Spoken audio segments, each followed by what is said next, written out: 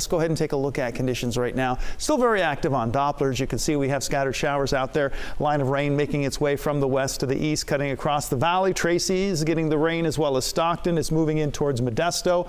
Uh, Lodi, it's heading your way, getting some rain. Galt, Sacramento, Elk Grove, kind of dry right now, but we do have that rain shower activity pushing your way. And of course, we have the snow and snow levels.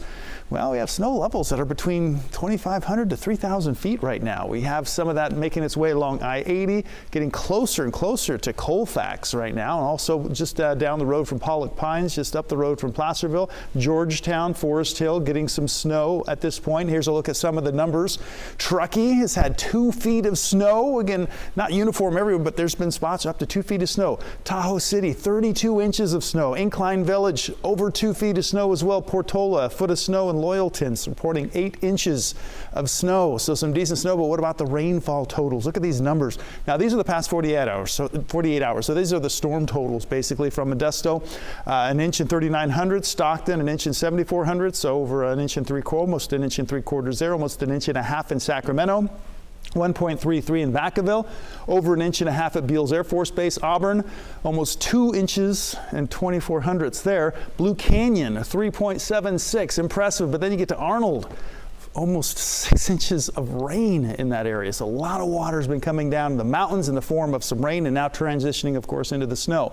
Current temperatures ranging in the low 50s, Sacramento, Stockton, and Modesto. And looks like Lake Tahoe, you're frozen in because uh, it's not reporting out at the airport right now. The center of low pressure is off the northern coast of California. It's going to be sliding south, and with it will come still some more showers through this evening.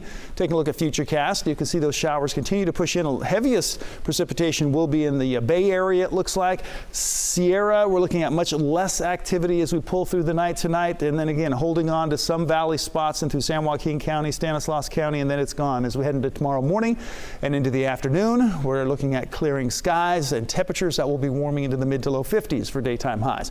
Now, as we get into Tuesday morning, it's going to be a chilly start. Temperatures near freezing and some patchy areas of uh, fog as well as some frost in the forecast. So that's Tuesday morning, Tuesday afternoon, mostly sunny. We see some high cloud cover moving in by Wednesday morning, but still I think we're going to see some areas of frost and fog again on Wednesday morning. Temperatures forecast tomorrow starting off in the single digits for Truckee and Lake Tahoe. The daytime highs pushing into the upper 20s to lower 30s.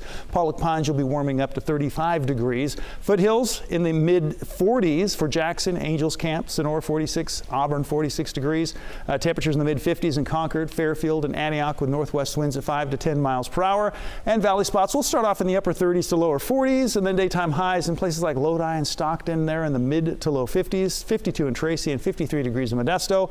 Davis 53, 52 in Elk Grove, 52 in Roseville, and a daytime high forecast tomorrow in Woodland of 53 degrees. Your seven day forecast drying out. We'll get some sunshine through the afternoon, looking really good. Then we have a few clouds. We'll call it partly cloudy skies as we head through Tuesday and Wednesday with morning temperatures down around freezing. So we will have the frost and the fog, and that chance is going to stay with us as we head throughout next week.